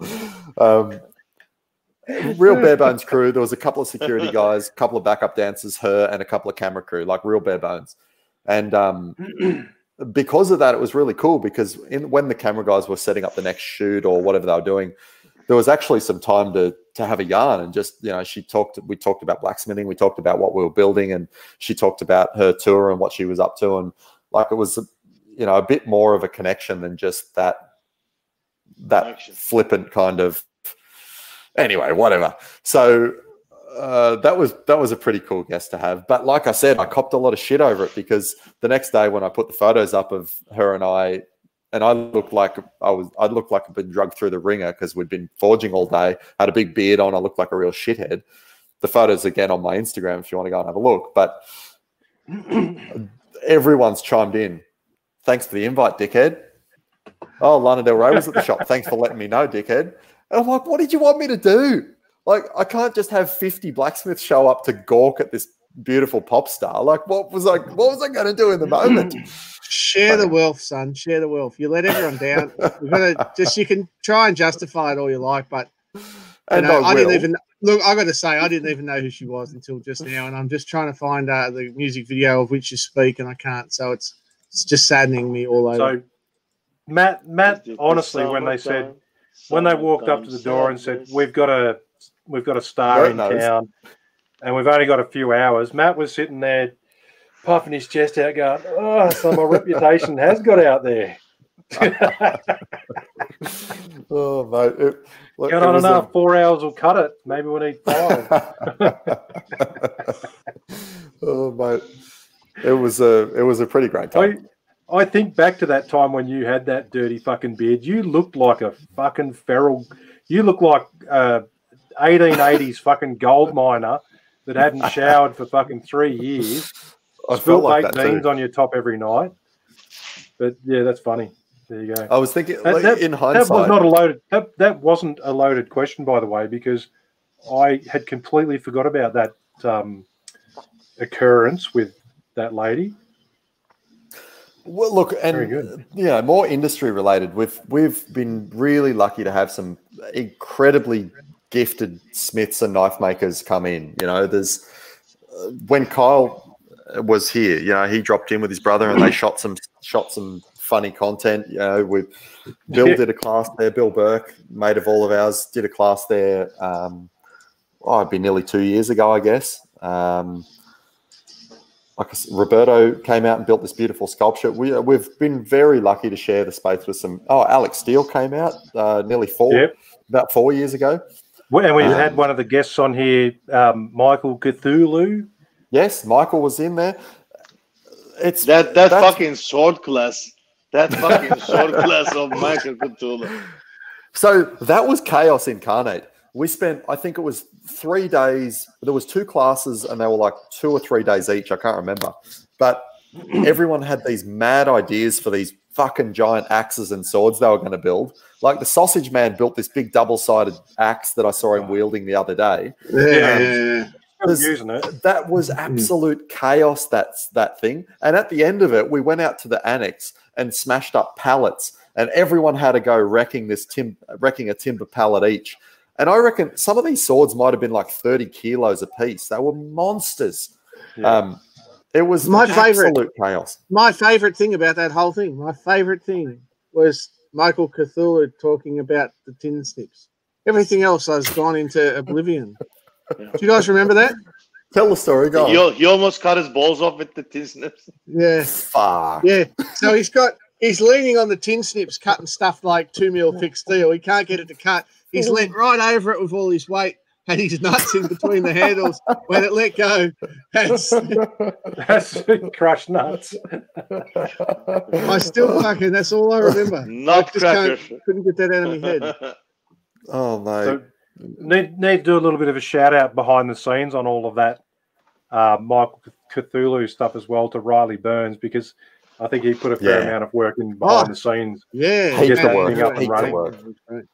Oh, And- yeah, a little bit. A little bit is an understatement. That's that's playing it down a lot. But man, that was just a really really cool thing. And that he was quite a humble fella. And when he had when we had him on the He podcast, was, yeah. fuck, he was he, he's funny. He's just- very, very funny. He's switched on, and if nothing else, as I've always said, it's it's probably just the Irish accent. I've I've talked to Irish people in a serious conversation. I just want to laugh at them and point at them. Yeah, It's just it's very hard.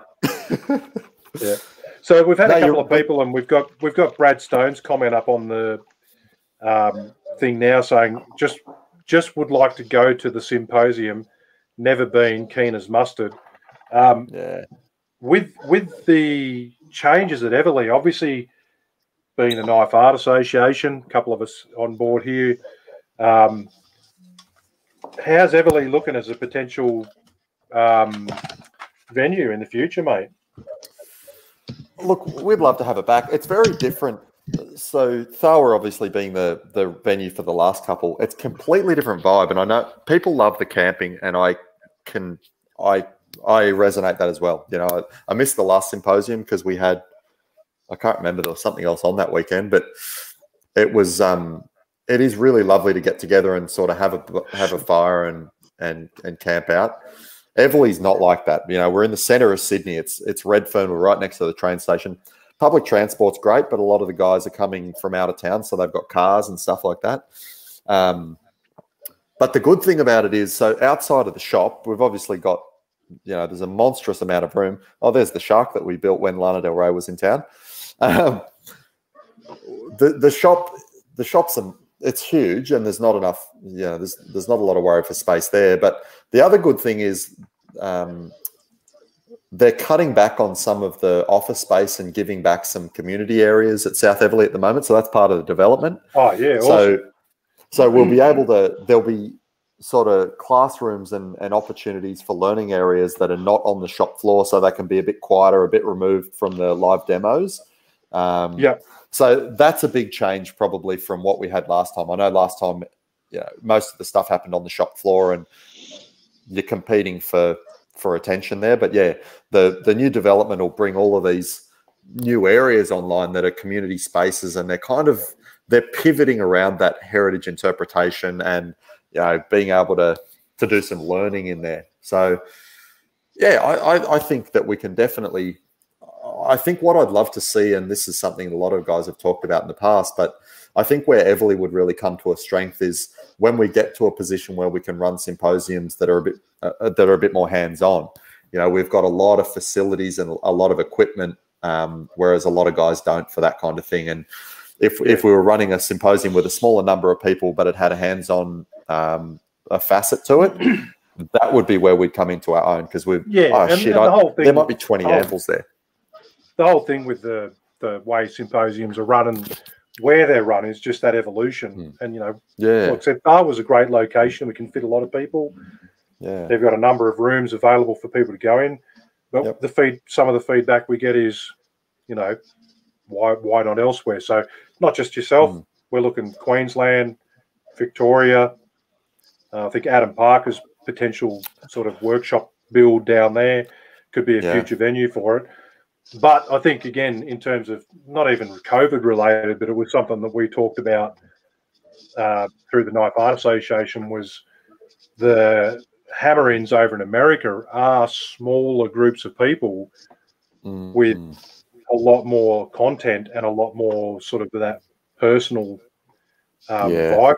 So, um, yeah, no, that's good. I just sort of that was just one of my piqued my curiosity things with your development and what they were doing with it.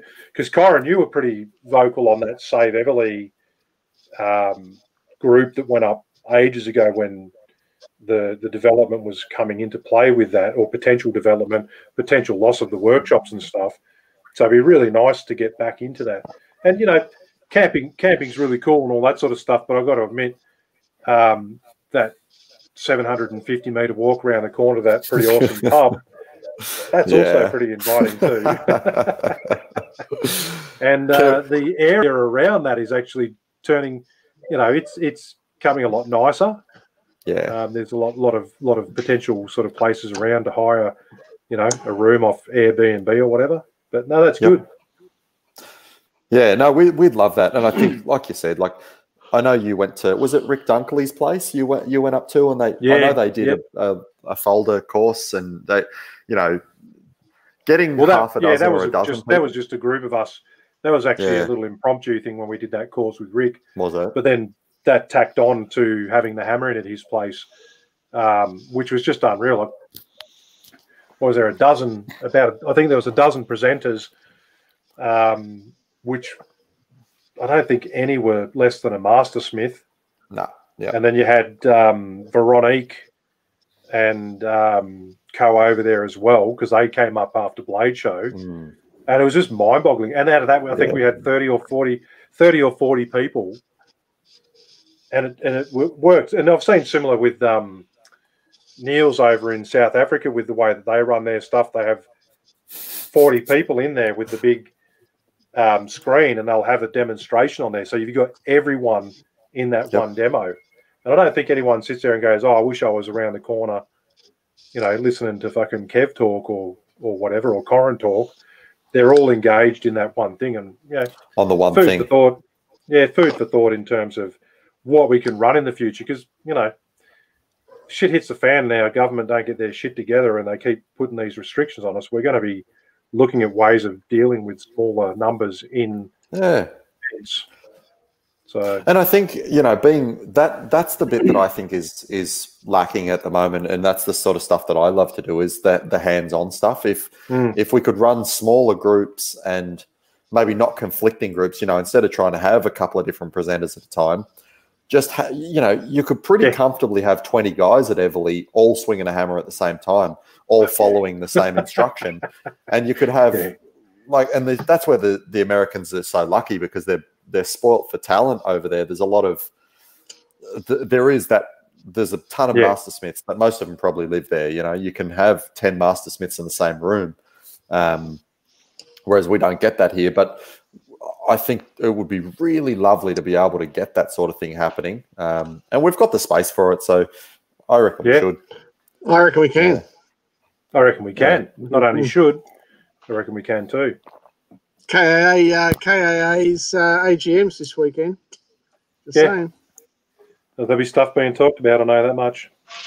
Yep. Yeah. Very good. So we've gone for an hour and forty-five, um, and it, it's time's gone well, man. Like that's It just really flies well. by, doesn't it? It does. It's Yeah. it's interesting shit. You it's interesting. We know about you and we've been around you for a long time, and I still find what you say interesting about the way things run. And yet we've got all our listeners. Some of them might not have even ever heard of you before tonight. Yeah. Uh, now they know that you're like the human crack. Um, but what you get up to at Eveleigh as well, and and yeah. man, yeah, like it's fucking awesome. It's an awesome thing. So Yeah, I got thanks, Jeff. some. I got some public service announcements. Um, one is uh, next week is a special interview again. We've got uh, we've got a big interview lined up for next week. I won't let too much out of the bag there, but the big one that's out of the bag is that um, Shawn McIntyre is uh, is coming on in on the fifteenth of October to do a presentation on joining the guild. So he'll be taking the screen and giving his presentation for for uh, an hour and a half or so. You'll be able to ask him questions. He's a master smith and a really great guy. Very cool. Ask Um, serious questions. Don't don't ask dickhead questions. Yeah. Serious questions. Dickhead, Be dickheads serious. will be um, eliminated from the fucking proceedings. Yeah, so Yeah. good guy. Make a comment Um, about the height. You fucking bend. No no one's no one's gonna know on this medium, and now that you've just told them, Yeah. Fair And, warning, fair um, warning, Matt Snape. uh, after that, oh yeah, we've got some. We've got a big one lined up where we're getting a big industry supporter company coming on. So that's oh, um, yeah. yeah. So I've been working too on much that. out of So- the bag with that one. That's going to be a But just stay tuned if you if you like the podcast. Uh, we've got some good information ones coming up. So yeah, and and Matt, thank you very much as as as always, mate. I wasn't asleep there. Someone who said that I was actually chopping up a little pencil into pieces on my keyboard. I'm glad to Um, be interesting to you. Seemed like Very it glad. did seem did seem like a good idea at the time, but actually, it's it's, it's in my keyboard. Anyway, Graphite is conductive. fidgeting. So that's Ah, the yes. reason. As a as a stupid thing to end on, the reason that they invented the pen to go into space, that vacuum controlled pen, is if you use a pencil, you get graphite in your fucking electronics and it shorts everything out and it's bad news. So don't take Uh. pencils into outer space. But the Russians just used a pencil. Yeah, but the pencils short circuited all their electronics and they lost a lot of They cosmonauts. don't care.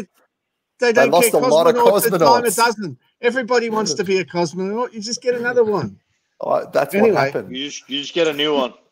Yeah, It's that's what NASA Mother stands Russia. for, isn't it? Need another seven astronauts. Anyway, Oh god.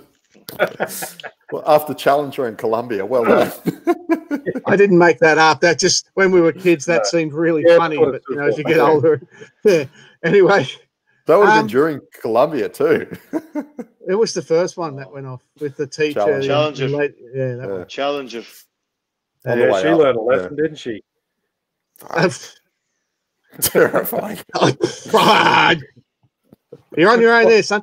All right. All right. Anyway, Space, we're, final hitting, frontier. we're hitting the mark, so I'm going to go to bed. Yes. You guys have a good one. I'm going to go to bed, and um, I'll see you later. Good night, sweetheart. thanks again, Matt. well, it's time. Lovely to talk to you, blokes. Thanks for having me on. Ba-bum, ba-bum. Good to have you, man. Thank you. Take care, Good to Myrtle. see you, bloke. Sing us out, Mert. Come on, mate. Happy birthday, Birthday Mr. to President. Happy birthday, Birthday to to you. You. Happy Happy birthday, Corin Khan. Happy birthday. Birthday to you. Now, Matt, stand up and give him the present. Ah, cancel. All right, boys. Have a good one. Hey, Take care, everyone. Stay there. See